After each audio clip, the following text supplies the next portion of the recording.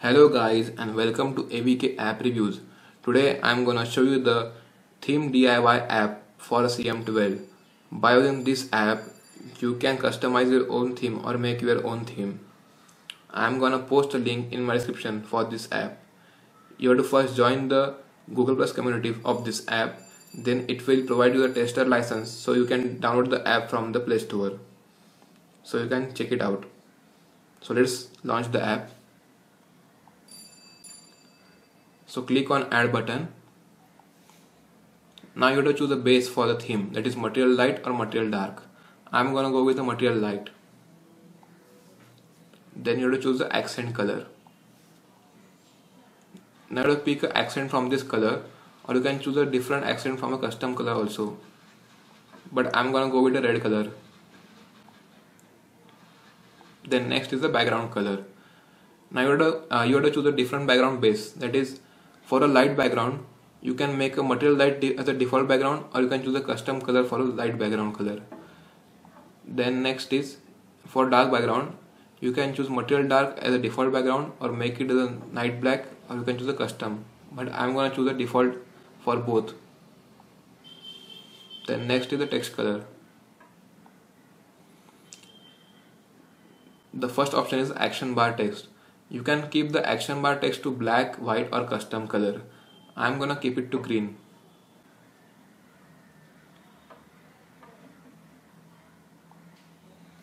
Then next is a body text. Means for dark text, means uh, you can choose a dark text color for light background through this. I'm gonna keep it black only. And you can choose a light text color for a dark background. I'm gonna keep it white only, but you can change then next is the MISC setting. Here you can change the notification header color. You can keep it same as accent or change it to a custom color if you want.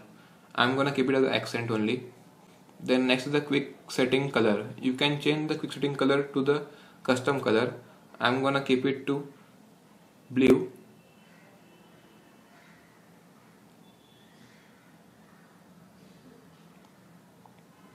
then next is the toolbar color. You can keep it same as accent or change the custom color. I'm gonna keep it as the same as the accent. Then next is the list divider color. You can keep it default or make it different. I'm gonna choose it as a white color or make it black. So I'm going to choose a black color for it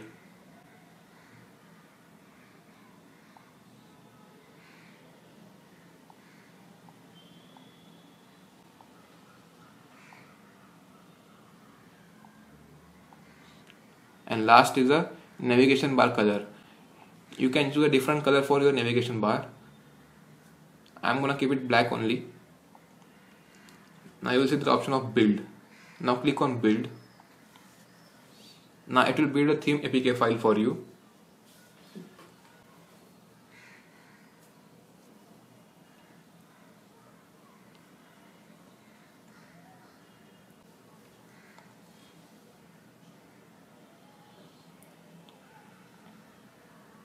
so as you can see the apk file is built.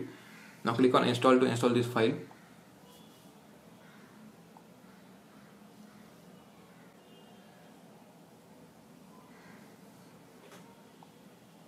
Now go into themes. Now click on light template and apply the theme. So as you can see my theme is applied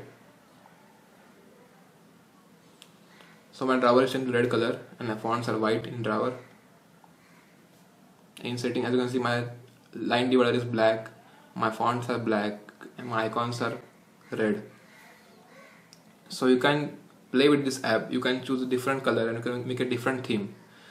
Currently this, this app is in beta state so you will get very less customization available means you cannot change the font or anything but it will be available in the next build so thank you for watching my video.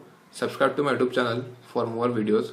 Follow me on Google Facebook and my blog. Thank you.